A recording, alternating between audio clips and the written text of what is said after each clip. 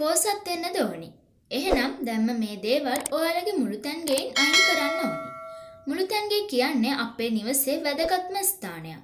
ඒ වගේම තමයි වාස්තු විද්‍යාවේදී විශේෂයෙන්ම සැලකිල්ලට යොමු වන ස්ථානයක්. මොකද මුළුතැන්ගේ තමයි මුළු නිවසටම ශක්තිය සහ නිරෝගී සෞඛ්‍යයක් සපයන්නේ. මුළුතැන්ගේ තුල ඇති වාස්තු දෝෂ සම්පූර්ණ බලපෑමක් ඇති කරනවා නිවස තුල ඉන්න සියලුම සමාජිකයන්ට. ඔයාලගේ ගෙදරත් උපයන සල්ලි ඉතිරි වෙන්නේ නැද්ද? එහෙනම් ඒකට හේතුව දැනගන්න රැඳිලා ඉන්න මේ වටිනා වීඩියෝවේ අවසාන තත්පරය තෙක්.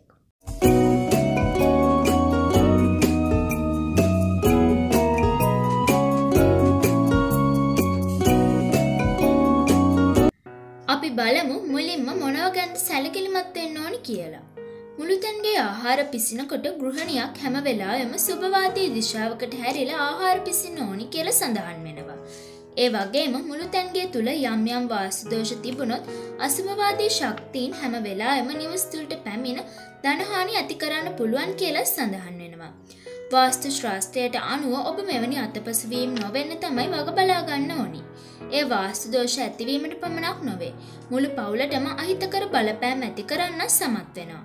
අපි බලමු වාස්තු විද්‍යාවේදී සඳහන් වන කරුණ මොනවද කියලා. මුළු තැන්ගේ තුල තියන්න හොඳ නැත්තේ මොනවද? තියන්න හොඳ මොනවද. අපි ඒ ගැන බලමු. වාස්තු විද්‍යාවට අනුව වැරදීමකින්වත් බෙහෙත් වර්ග මුළුත්තැන්ගේ තුළ තියන්න එපා.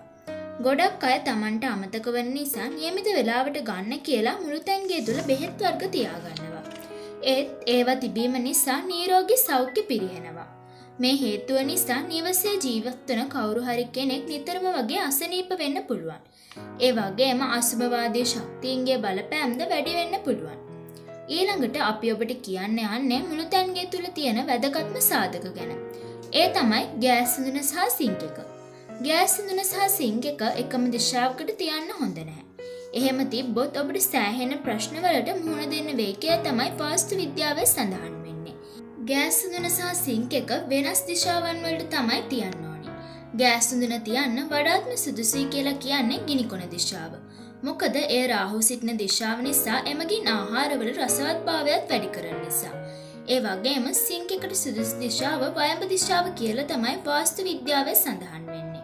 අපි දැන් කියන්න යන්නේ තවත් වැදගත් කාරණාවක් ගැන. ඔබේ මුළුතැන්ගේ තුල කැඩී බිඳී ගිය වාචන තියෙනවද? එහෙනම් ඔබ වහාම ඒ දේවල් ඉවත් කරන්න ඕනි. ඒ වගේ දේවල් භාවිතා කිරීම මගින් සෞඛ්‍ය වගේම ධනහානිද ඇති වෙනවා. ඒ වගේම පවුලේ සමාජිකයන් අසාර්ථකත්වයටත් පත්වෙන්න ඉඩකඩ තියෙනවා. කැඩී බිඳීගේ මුළුතැන්ගේ උපකරණ වලින් රාහු පිළිබිඹු කරන අතර ඒ දාරිද්‍රතාවෙහි සංකේතයක් වෙනවා. කැඩී පිපිරී ඇති භාජන වලින් ආහාර ගැනීමෙන් දුප්පත්කම වැඩි කරන අතර වාස්තු දෝෂද ඇති කරන්න සමත් වෙනවා. ඔබ නිවසින් බැහැර කරන අපද්‍රව්‍ය බඳුන කොහෙද තියන්නේ? එය මුළු තැන්ගේ තුල තබා ගන්න නම් කිසිම වෙලාවක හිතන්න එපා. එහෙම කළොත් ඔබේ පවුලේ සමාජිකයන්ට එය අසුභවාදී ලෙස බලපෑම් ඇති කරනවා වගේම සෞඛ්‍යයට අහිතකර බලපෑම් ඇති කරන්න පුළුවන්. ඒ වගේම රැකියා ස්ථානයේත් මූල්‍යමය ගැටලු ඇති වෙන්න පුළුවන්. ඒ නිසා ඒ පිළිබඳව හොඳින් සැලකිලිමත් වෙන්න. වාස්තු විද්‍යාවට අනුව දෙවිරූප හෝ කැලන්ඩර් ඔබේ මුළුතැන්ගේ තුළ එල්ලන්න හොඳ නැහැ. එයට හේතුව අඟහරු ග්‍රහයාගේ බලපෑම එක එල්ලෙම මුළුතැන්ගේ තුළට ඇතුළුවීමයි. ඒ වගේම ගුරුගේ බලපෑම අප වන්දනා කරන දේවල් මතට වැටීමයි. මේ හේතු නිසා අඟහරු ග්‍රහයා ආක්‍රමණශීලී වීමෙන් කෝපය වර්ධනය වෙනවා. ඒ වගේම ඒ ධනහානියටත් හේතු වෙනවා. නමුත් ඔබට අන් ආපූර්ණ දේවතාවියගේ රූපයක් අවශ්‍යම නම් මුළුතැන්ගේ තුළ තියාගන්න පුළුවන්.